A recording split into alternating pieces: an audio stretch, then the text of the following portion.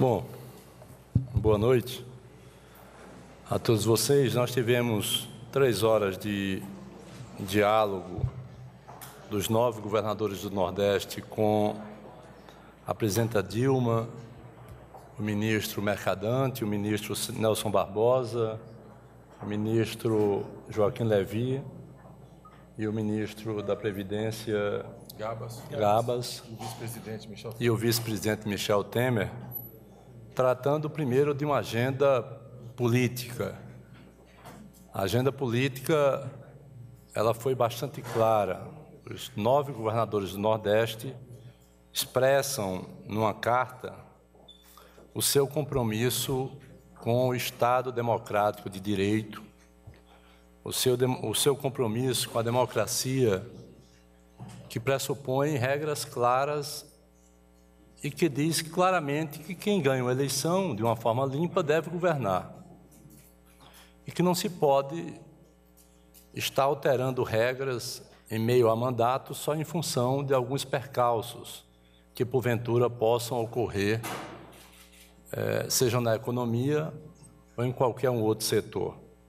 Expressamos isso à presidenta Dilma e, e ao mesmo tempo, nos colocamos como agentes da construção de um amplo entendimento nacional.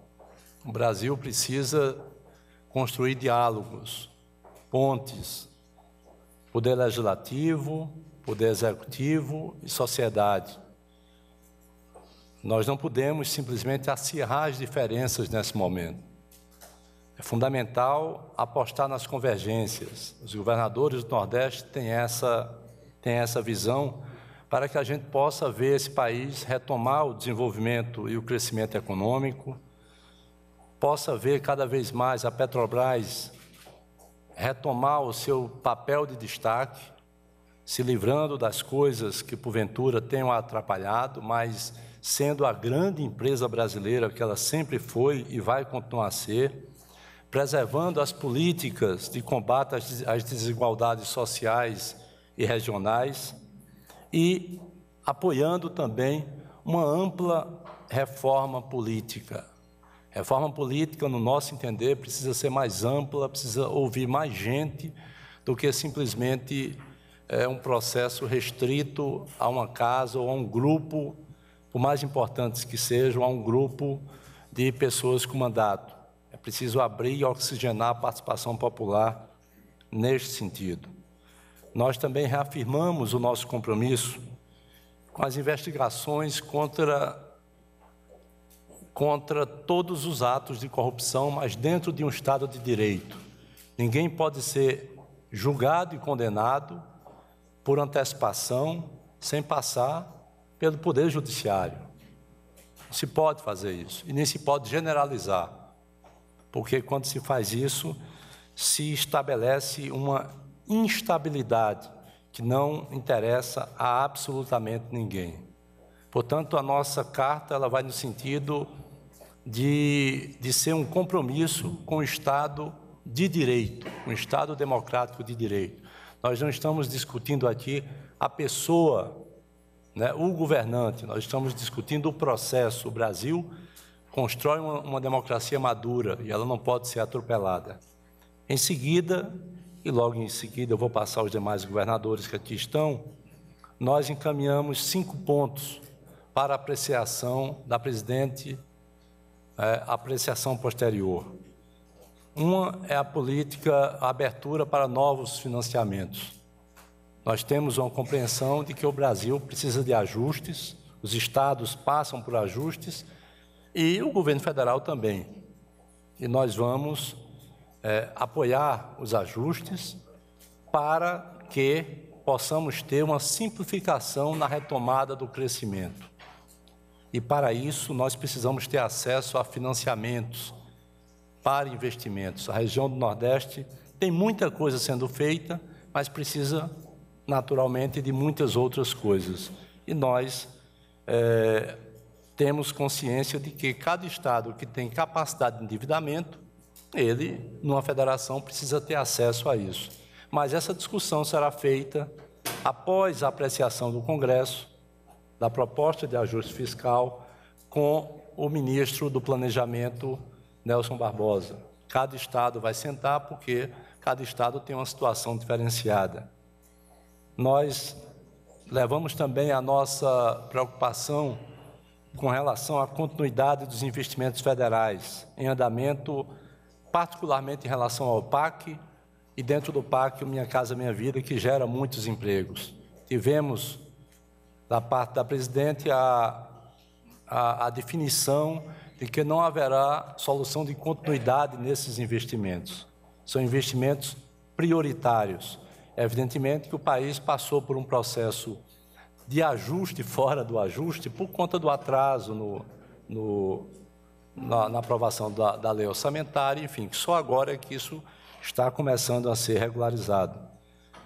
É, temos clareza e levamos para apreciação a questão da saúde, propomos claramente uma, um, um financiamento adicional para a saúde, Queremos que os novos leitos que existem nos estados, eles sejam cadastrados emergencialmente, imediatamente pelo Ministério da Saúde, porque na, na essência quem está bancando isso, né, esse atendimento, seja numa urgência, seja numa UPA, seja num hospital qualquer, só a Paraíba abriu 1.044 novos leitos, todos eles bancados com recursos do Estado.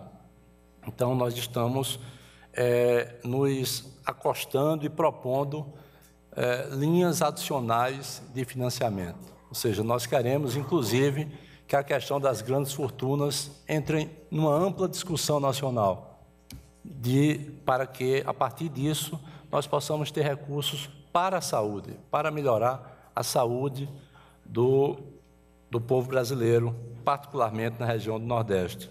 E também a nós, nós nos oferecemos para colocar o Nordeste como um laboratório para a política do Sistema Único de Segurança Pública.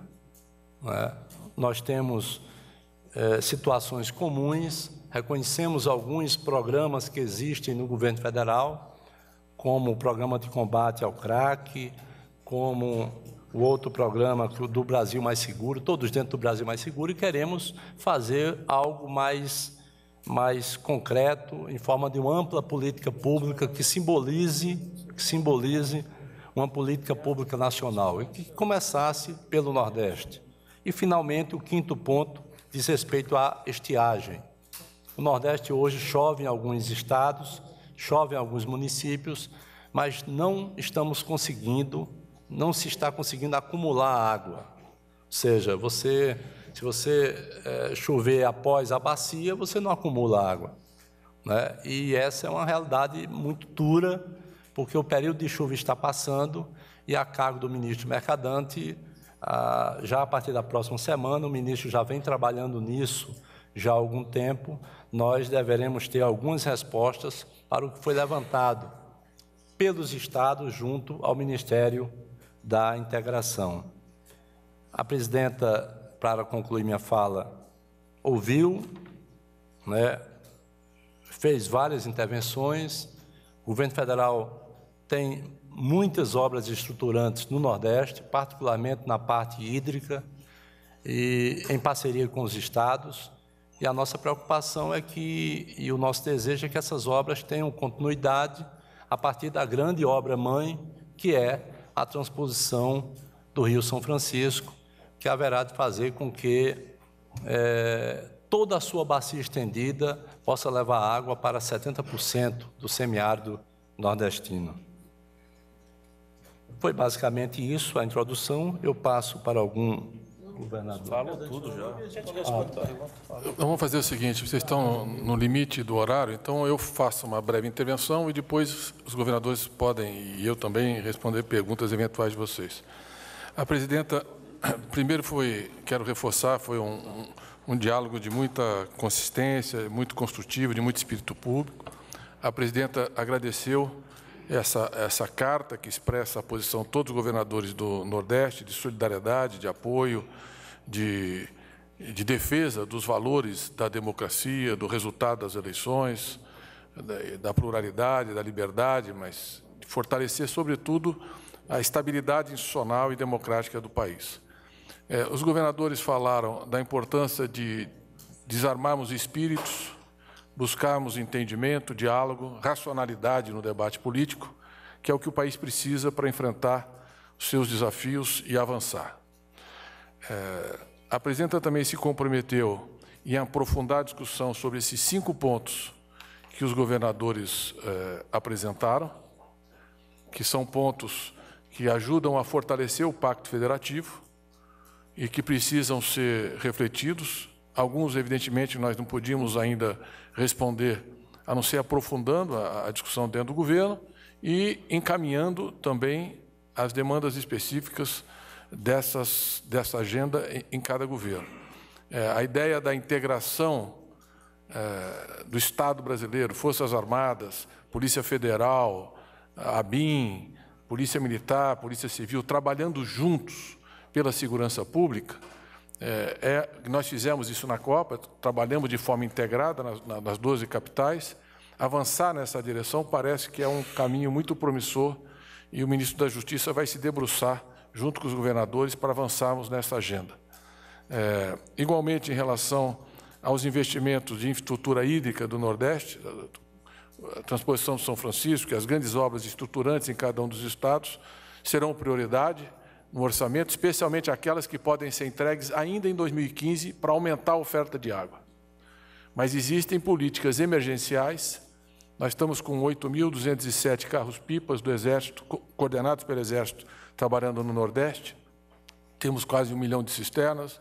Nós temos hoje, temos o seguro safra, uh, temos bolsa estiagem, temos um conjunto de políticas, estamos encaminhando agora 100 mil toneladas de milho para melhorar o abastecimento, mas é, todo esse conjunto de políticas precisa ser aprimorada, porque como a estiagem é muito prolongada, tem uma seca já de três anos, alguns centros urbanos estão sendo atingidos.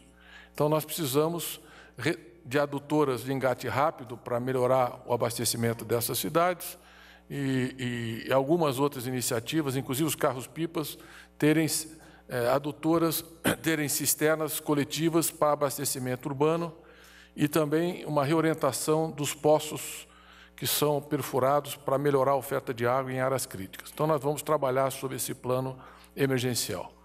É, a presidenta deu muita ênfase também na questão da saúde. Há uma concordância no diagnóstico, que precisa de uma nova fonte de, de, financiamento. Foi proposto esse imposto sobre grandes heranças ou sobre grandes fortunas, enfim, de, um, de uma nova fonte de financiamento. O governo vai estudar essa, essa possibilidade.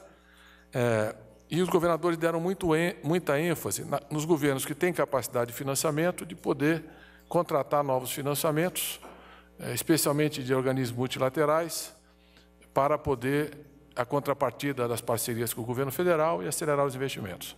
A presidenta, no entanto, na sua intervenção, ela deu muita ênfase da importância é, decisiva da aprovação do ajuste fiscal. Que o ajuste fiscal é que vai assegurar as condições financeiras e econômicas para o país retomar o crescimento, assegurar a estabilidade econômica e poder, inclusive, é, não só, porque esse é um compromisso do governo, honrar todos os projetos que estão em andamento, todos os contratos que foram firmados, mas nós avançamos em novos projetos, em novos investimentos, em novas parcerias com os governos do Estado. É, os governadores também é, todos vão fazer diálogo com as suas respectivas bancadas nos estados, vão discutir a agenda do Congresso Nacional, tanto a agenda específica dos governos como a agenda nacional do ajuste. Então, acho que houve uma grande convergência também nessa direção de buscar, todos eles também estão se empenhando nos ajustes específicos. É, é, é uma, houve uma forte queda de receita no final do ano passado, início desse ano, e esse é um grande desafio, eu diria, de todos os entes federados. É, e no entanto, o governo vai abrir já o diálogo através do Ministério do Planejamento para nós irmos amadurecendo os novos projetos, avançarmos nessa possibilidade de financiamento, mas as definições mais importantes dependerão da decisão final do Congresso Nacional em relação ao ajuste fiscal. É ele que dará os parâmetros para que o governo federal possa avançar na definição de novos projetos de investimento nos estados, parcerias e projetos estruturantes de desenvolvimento do Nordeste brasileiro. É, por último, é, acho que houve também um reconhecimento do quanto mudou o Nordeste ao longo desses últimos anos, com todo o conjunto de projetos de investimentos importantes indústrias que se deslocaram, comércio, serviços, e as políticas de infraestrutura, transporte, mobilidade, infraestrutura hídrica, e as políticas sociais que tiveram impacto muito forte no Nordeste. Bolsa Família, o salário mínimo, enfim, esse conjunto de políticas públicas que mudou a qualidade de vida, fortaleceu o mercado da região e nós queremos ter continuidade nessa parceria exitosa do governo federal com os governadores de Estado. Está aberta a perguntas. Boa noite, ministro. É, pelo que deu, pra, deu, a entender da sua fala, é, todas essas demandas dos governadores estão vinculadas à aprovação do, do, ajuste fiscal no Congresso, isso é, os governadores vão ter que fazer esse trabalho de convencer suas bancadas a aprovar o ajuste fiscal, para então essas demandas terem algum avanço dentro do governo.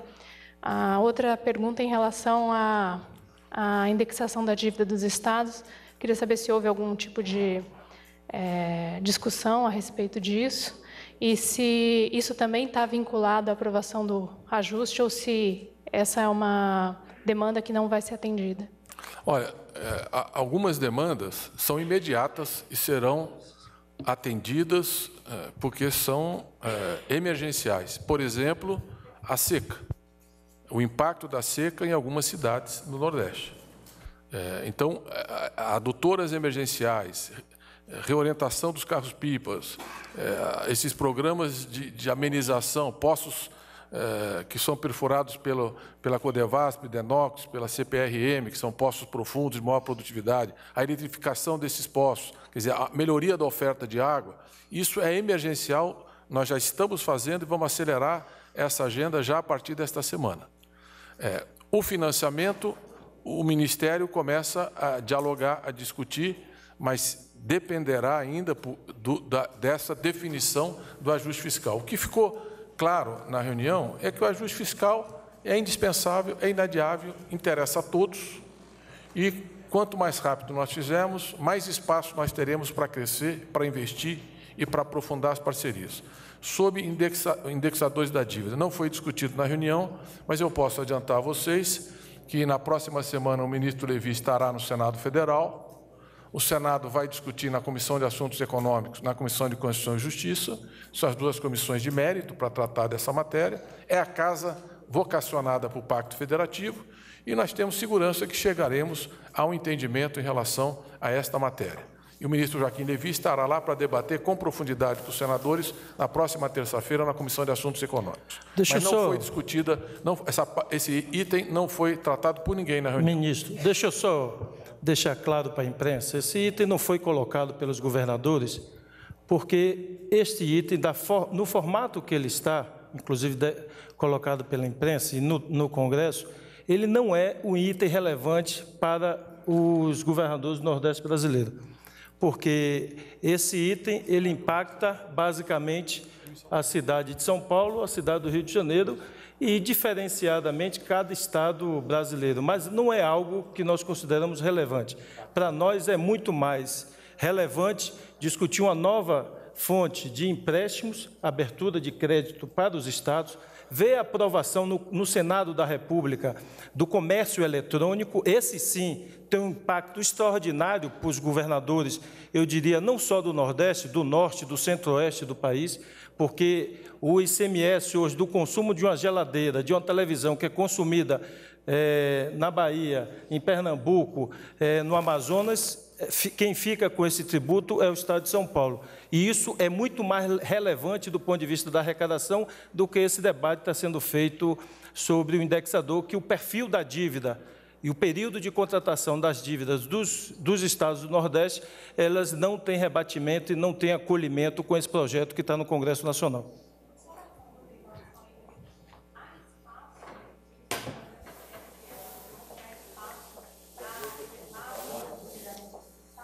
Olha, isso aí é evidente que, primeiro que nós demonstrando apoio, demonstramos apoio às reformas e ao ajuste fiscal porque o país precisa entrar.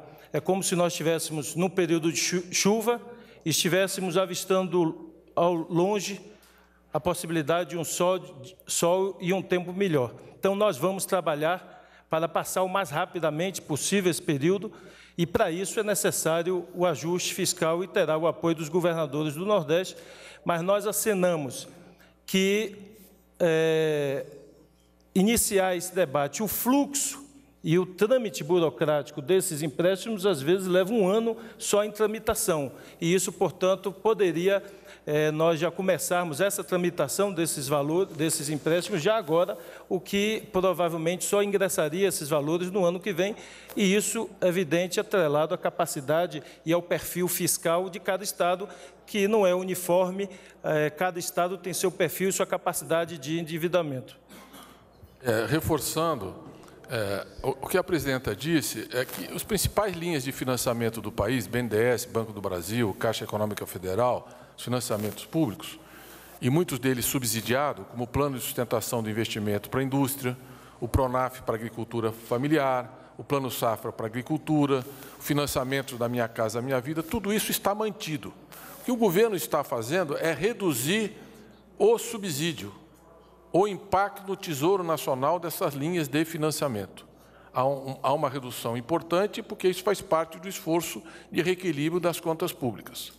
É, os governadores deram destaque, em especial, à possibilidade de financiamento junto a organismos internacionais, Banco Mundial, o BID, o CAF e outras fontes de financiamento. E são financiamentos cuja tramitação é muito lenta, a contratação é muito lenta, os procedimentos são muito, em geral, demoram pelo menos um ano, às vezes até dois anos, um ano e meio para você ter a liberação.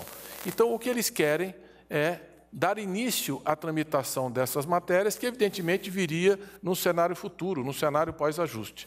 O que o governo insistiu, e todos compreenderam e pactuaram, é que o, o fundamental do ajuste econômico vai, naquilo que depende do Congresso, a parte do governo já está sendo feita, continuará sendo feita, o orçamento vai ser contingenciado, portanto, tem que eleger prioridades cada ministério, é, vai, sobretudo, até junho, que é o período de tramitação dessas duas medidas provisórias, a 645 a, a, a 644, é, a 664 e a 665, que vão agora até 1 de junho, e tem também o projeto de exoneração da folha, que nós esperamos que tramite em paralelo e dentro desse prazo. Então, o ajuste fiscal ele é o alicerce de uma nova etapa.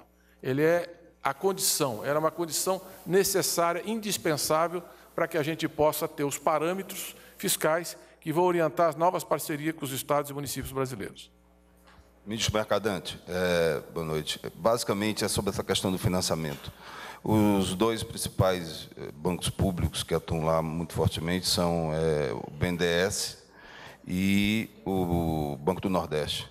O BNDES, historicamente, investe não mais que 12% no Nordeste, e o BNB deixou de atuar desde as políticas anticíclicas nos grandes projetos com referência a BNDES Banco Nordeste, vai mudar alguma coisa ou vai continuar nesse parâmetro ou só vai mudar depois que o ajuste fiscal for aprovado? Objetivamente, assim? Explicar primeiro que não. O Banco do Brasil tem uma série de projetos importantes para o Nordeste, a Caixa Econômica Federal, o Minha Casa Minha Vida está presente em todo o Nordeste brasileiro e os projetos, esse, todos esses projetos que nós estamos falando, muitas vezes têm financiamento. Só do BNDES nós temos hoje 12 bilhões de, de, de, de reais de financiamento para o Nordeste. Metade desse recurso já liberado, a outra metade em processo de liberação. Então, só do, do BNDES para os governos estaduais que estavam aqui, nem todos, é, é, é diferenciada a situação. Tem alguns, alguns governos que têm muita força esse financiamento, outros o que tem é, é uma sobra de é um, é um, pequeno pedaço, mas metade desses 12 bilhões ainda está para ser liberado. Então, há linhas de financiamento direto, BNDES e governos, e outros projetos poderão ser apresentados. O que nós destacamos é que ah, o subsídio está sendo reduzido fortemente no BNDES, faz parte do, do esforço fiscal. Isso vale para todas as linhas do BNDES, Banco do Brasil e Caixa. Ministro, o senhor falou, boa noite. O senhor falou que o ministro Levi vai ao Congresso na terça-feira Pode haver alguma alternativa, alguma solução com relação à rolagem das dívidas por parte do governo até terça-feira, que substitua o projeto? Essa é prim... Posso fazer todas de uma vez? Aí o senhor responde? Pode. O presidente do Senado e o Congresso, de modo geral, está firme na aprovação, diz que aprova, diz que quer votar o mais rápido possível o projeto e fala, inclusive, até no veto, já lá para frente. É, e o presidente do Senado insistiu muito nessa questão do ajuste fiscal, disse que. É, porque o governo, já que o ajuste fiscal é tão importante, esse projeto tem um impacto de 3 bilhões aproximadamente. Então, por que o governo não pensa em fazer um ajuste? Voltou a falar na questão dos ministérios, uma redução dos ministérios e uma revisão nos contratos. E uma última pergunta rapidinho: se a lei foi sancionada no dia 25 de novembro, que é o que consta, é, de lá para cá houve uma mudança muito rápida né, de, de, de, entendimento do governo, de postura do governo, já que a lei foi sancionada, chegou a ser sancionada. Primeiro, como eu disse, nós, eh, a disposição do governo é buscar um entendimento em relação a essa matéria. Né, as duas cidades que são fortemente eh, impactadas, mais ou menos 80%, é, quase, diria 70% dos recursos que envolvem essa discussão é a cidade do Rio de Janeiro e especialmente a cidade de São Paulo. O impacto nos outros municípios e governo do estado é muito é pequeno, não é relevante como já foi dito aqui nessa mesa. Então é basicamente um problema da cidade de São Paulo, especialmente da cidade de São Paulo e da cidade do Rio de Janeiro. Não é um tema federativo que atinge os 27 estados da federação, 5.500 municípios. Está muito concentrada na cidade de São Paulo e Rio. De qualquer forma, é um tema relevante. É, é um tema que merece ser tratado. A lei ela era autorizativa, ela não definiu data para ser regulamentada. Ela autorizava o Ministério da Fazenda a regulamentar no futuro o tratamento dessa matéria. Nós todos sabemos que o momento fiscal é um momento que está exigindo, exigindo corte de despesas, é, redução de desonerações fiscais, é, melhoria na arrecadação, e por isso esse é um tema. Vocês viram, o Brasil manteve grau de investimento numa importante agência, a, a, a, agência de, de risco, mas tudo isso é, está diretamente associada à confiança do país, à atração de investimento, ao ajuste fiscal, ao reequilíbrio das contas públicas. Por isso, esse é um tema que tem que ser tratado dentro desse contexto. O que o ministro pretende discutir, é, inclusive no âmbito do Senado Federal, é uma pauta mais ampla. Por exemplo, a convalidação do ICMS, que é um tema que hoje coloca no Nordeste uma preocupação muito grande com os investimentos que foram dados e, foram feitos que precisam ser convalidados porque colocam em risco já empresas que atuam lá. Então, se pretende fazer uma discussão mais ampla sobre o Pacto Federativo, inclusive sobre indexador de dívida. É, o Congresso tem total, o, o, Senado, eu acho que é a grande casa que trata do Pacto Federativo, acho que nós saberemos encontrar o um entendimento nessa matéria. Essa é a nossa expectativa. E é o que eu sinto dos prefeitos que estão mais diretamente afins a esse tema e são mais diretamente atingidos por essa agenda. É... Em relação a ministérios, eu vou repetir o que eu já disse outras vezes aqui. É, o que realmente tem impacto no orçamento é o corte do custeio, e nós estamos fazendo, nós estamos despendendo hoje um 18 avos da verba de livre provimento, daquilo que a verba discricionária do orçamento, onde o governo tem liberdade para gastar, nós estamos gastando apenas um 18 avos do que estava programado. É, o orçamento acabou de ser aprovado, vai ser sancionado e vai ser contingenciado. O governo vai contingenciar todas as áreas do governo e vai fazer um grande esforço no gasto. Dois terços do ajuste fiscal é corte de gasto. Dois terços do ajuste fiscal é corte de gasto. Um terço é redução de desonerações fiscais. Nós não criamos nenhum imposto novo.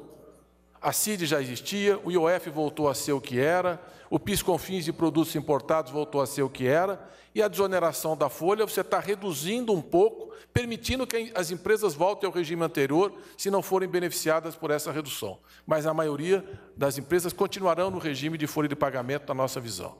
Então, esse é o esforço do ajuste fiscal. É isso que está sendo construído. Você, por exemplo, vamos pegar o Ministério da Cultura, que um dia foi do MEC, era Ministério da Educação e Cultura. Vamos supor que a gente, então, acabe com o Ministério da Cultura.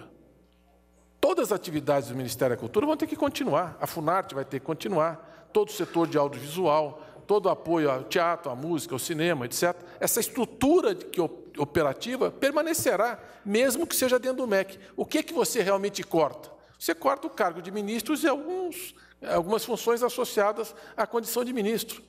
Isso não resolve o problema fiscal do país. O que resolve o problema fiscal do país é o contingenciamento dos recursos.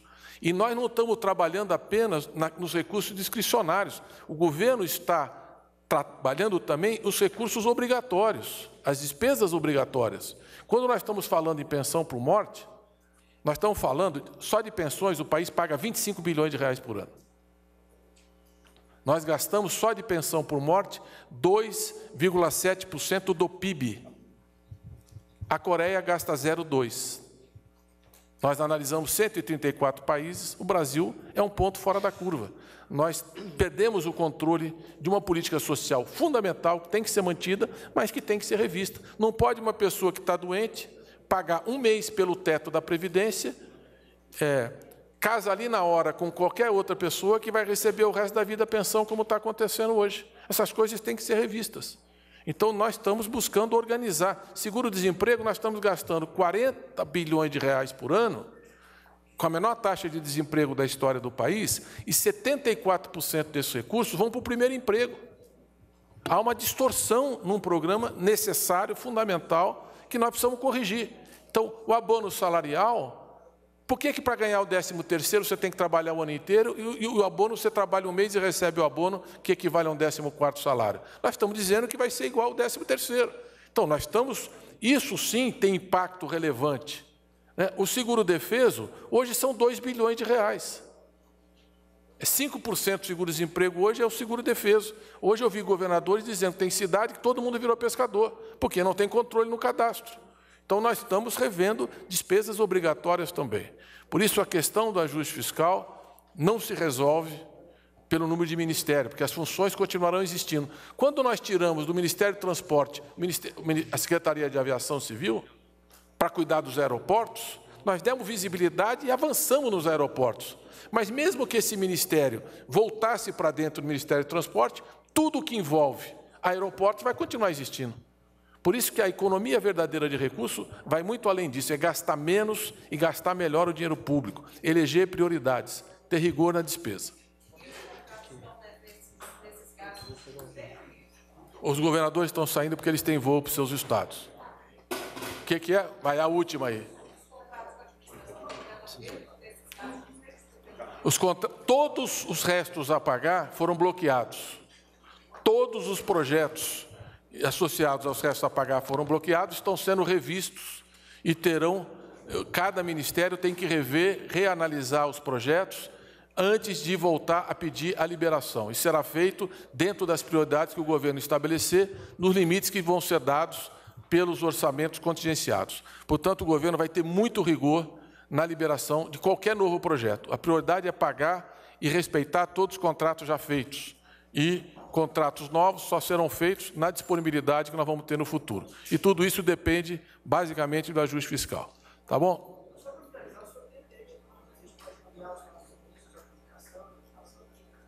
Eu acho que ela fará no momento oportuno. Eu acho que ela está debruçada sobre essa agenda. Foram fatos não previstos na programação do governo e ela fará a nomeação o mais breve possível. Mas aí é com ela essa pauta, não é comigo eu estou aonde eu estou. Diga. Todos os governadores se comprometeram, como foi dito aqui, com as suas bancadas de ajudar no ajuste fiscal. Vão fazer reuniões específicas com a bancada dos seus estados e depois uma reunião do Nordeste.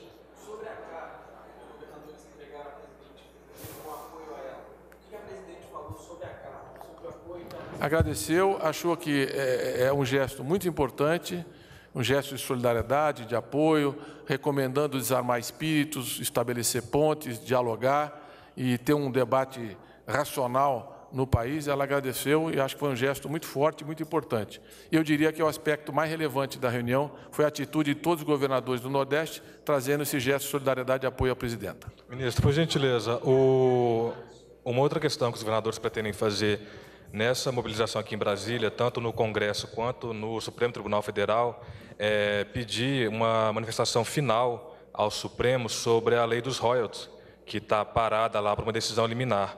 É, qual que é a posição do governo sobre não, isso hoje? Esse tema não foi tratado na reunião. Sim, mas a não, defesa... Não, sim, mas não, não foi tratado. Eu estou aqui para falar da, da, da, reunião. Vamos centrar naquilo que aconteceu hoje. Tá bom, gente? Obrigado.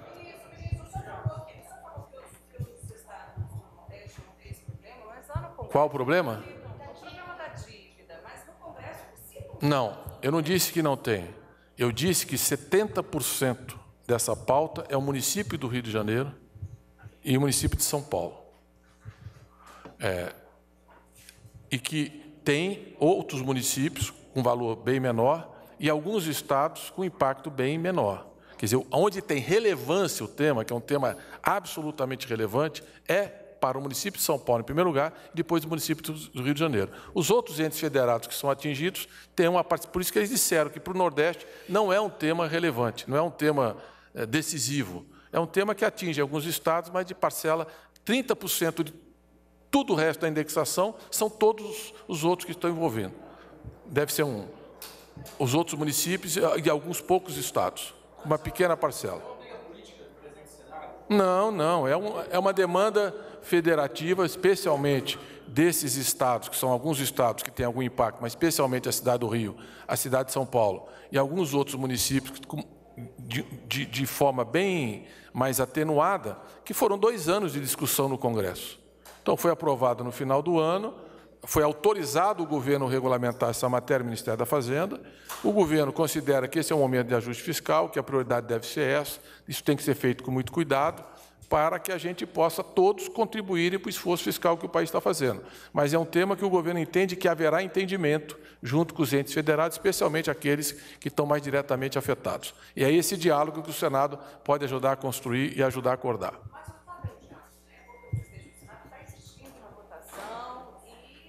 O Senado hoje, o Senado, o Senado, o Senado hoje não votou e abriu a discussão na Comissão de Assuntos Econômicos, na CCJ, vai acolher a argumentação do ministro da Fazenda na próxima terça-feira, e eu espero que, através do debate da transparência, se chegue ao entendimento que é o melhor caminho para a República. Que é tá bom, gente. Obrigado, viu?